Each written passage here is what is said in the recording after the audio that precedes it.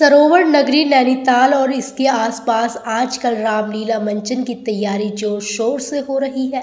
यहाँ श्री राम सेवक सभा, आदर्श रामलीला, सूखा ताल, तल्ली ताल, रामलीला कमेटी के अलावा नव सांस्कृतिक सत्संग समिति शेर का, डांडा में भी रामलीला का मंचन ज़ोर शोर से किया जा रहा है।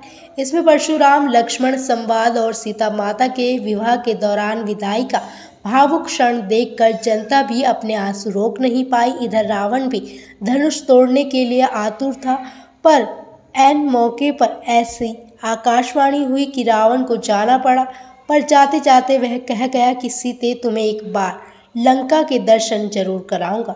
नव सांस्कृतिक सत्संग समिति, शेर का डंडा के समिति अध्यक्ष खुशहाल सिंह रावत और महासचिव पूरन चंद पांडे ने क्षेत्र की जनता का आभार व्यक्त किया।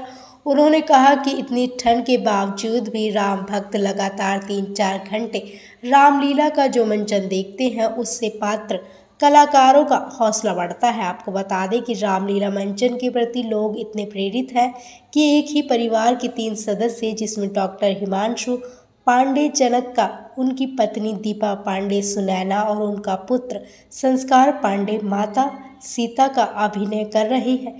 इसके अलावा भगवान राम का अभिनय, रोनिक सिंह, बोरा, लक्ष्मण, मोहित सुहाल भारत हर्षित केंडा, स्त्रुघन, निश्चय सनवाल, परशुराम, चारू पंत, केकई, कविता, आर्या दशरथ मनोज पांडे के अलावा हनुमान का किरदार भरत चंदोला की ओर से किया जा रहा है।